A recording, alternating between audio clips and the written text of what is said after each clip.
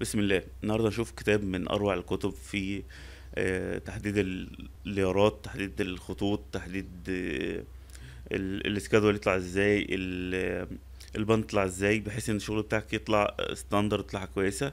ده من الكود الأمريكي United States National CAD Standard أو NCS كتاب روعة كتاب 473 صفحة. ده الإصدار الخامس الإصدار السادس نزل والإصدار السادس فيه أجزاء موجودة في ال BIM بس لسه مش معايا. آه، كل شوية تلاقيه ماسك حاجة كده يروح قالك الناس بتلخبط بين التلات حاجات دول. خلي بالك الفرق بينهم كذا كذا كذا ويبدأ يتكلم عليهم. هنلاقي كذا module أعتقد سبع module ات. ده أول مديول فيهم.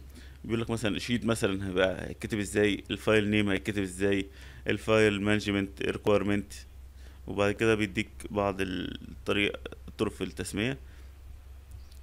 يعني هنا مثلا بيقول لك آه ال ال لو أنت مثلا هتبقى civil هتاخد حرف C لو landscape هتاخد حرف L إن شاء الله ممكن ناخد موضوع من المواضيع دي نبدأ نناقشها. هو بيتكلم على تسمية ال- ال sheet هنسميه إزاي.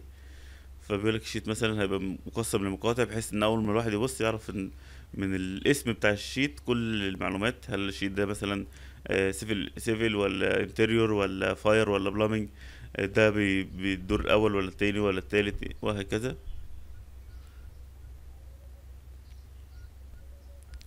اسم ال- اسم الموديل برضو هيبقى عامل إزاي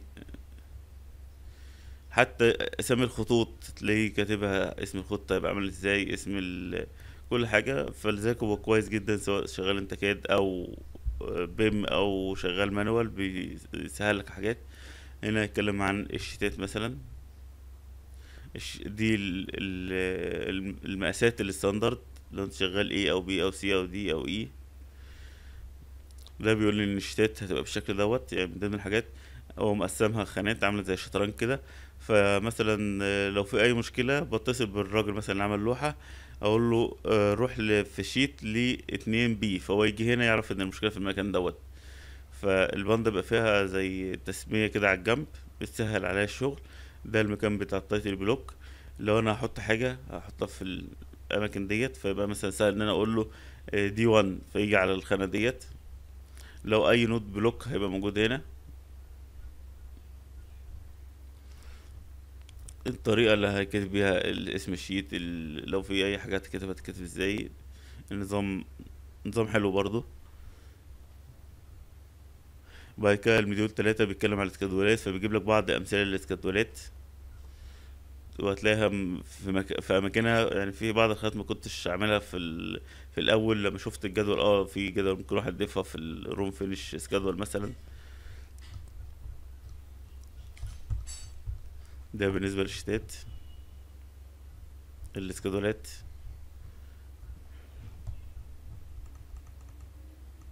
دي كل دي schedule ات ممكن الواحد يستعين بيها. الحاجات ال standard بقى الجريد الدروينج السكيل اللاين دايمنشن السيمبل الأنواع ال sheet ات. يبدأ بقى يناقشها لك المفروض مثلا لو أنا عندي المبنى في ميل هظبط أنا علامة ال north إزاي؟ بيديك حاجات standard لو انت شغال عليها الناس كلها تبدأ تفهم شغلك بسهولة مجرد إنها تبص عليه. لذلك الكتاب قيم.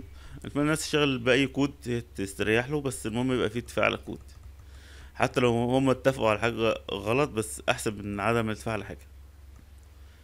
تمام؟ ده مثلا مبنى مباني هتبقى الشكل الرموز عاملة إزاي. لما تيجي تحط الأشكال الستاندرد بتاعتك هتحطها إزاي. آه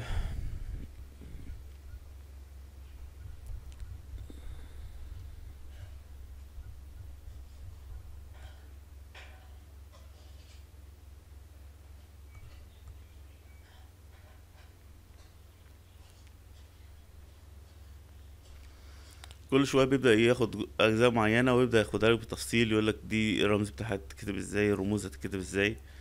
فهو مرجع محدش بيقعد يقرا الكتاب ده كله بس هو مرجع. لو إحنا مثلا هنرسم حاجة بنبدأ نرجع هنا بنشوف هو مخطط لها إزاي أو حاططها إزاي أو بيقول المفروض تتعمل إزاي إيه الصح فيها. فكتاب مرجع لينا لو إحنا اختلفنا في حاجة أو إحنا عايزين نعمل شغل مظبوط.